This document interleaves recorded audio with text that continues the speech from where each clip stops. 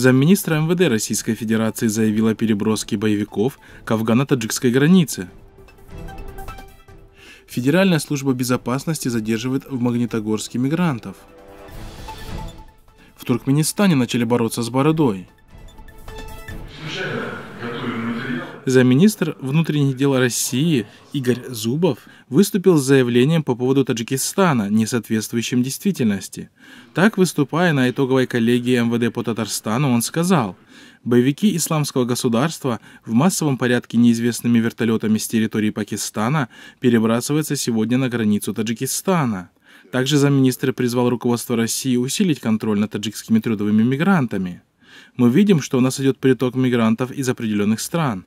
Несмотря на то, что они, судя по показателям, стали вести себя более законопослушно, тем не менее, та идеология, которую они сюда завозят, те их устремления, они изначально требуют нашего повышенного внимания, приводит слова Зубкова РИА Новости. Пресс-служба погранвойск Таджикистана опровергла заявление Игоря Зубкова, сообщив, непосредственно вдоль участка таджикско-афганской линии государственной границы на сегодняшний день членов террористической группировки «Исламское государство» не зафиксировано. Следует отметить, что тема существования террористической угрозы для стран Центральной Азии с территории Афганистана педалируется властями РФ на протяжении долгих лет для оправдания и усиления своего военного присутствия в регионе. Но впервые это озвучивает высокопоставленный представитель МВД РФ, причем связывая данную тему с приростом притока мигрантов из стран Центральной Азии в РФ, носящих угрозу якобы переброски боевиков ИГИЛ на границу или в Таджикистан из Пакистана. Наблюдатели отмечают, что, возможно, таким образом замминистра МВД РФ оправдывает целесообразность действия сотрудников своего ведомства по отношению к мигрантам из стран Центральной Азии, которые за последние годы все чаще становятся жертвами произвола и насилия силовиков.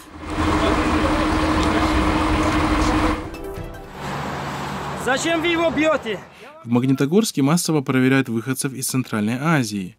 После взрыва маршрутки жилого дома 31 декабря прошлого года в Магнитогорске российские спецслужбы и полиция продолжают задержание лиц, якобы по подозрению в причастности к этим инцидентам.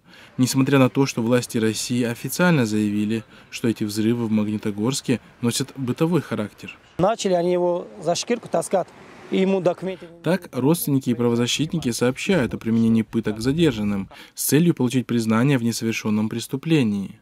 Один из таких задержанных сотрудниками ФСБ, гражданин Кыргызстана Хусниддин Зайнабиддинов, подвергается жестким пыткам. Об этом журналистам сообщила его супруга. Халимахон Зайнабеддинова, жена Хуснидина Зайнабеддинова, рассказала, что во время шестичасового допроса в отделении полиции ее мужа подвергали жестоким пыткам.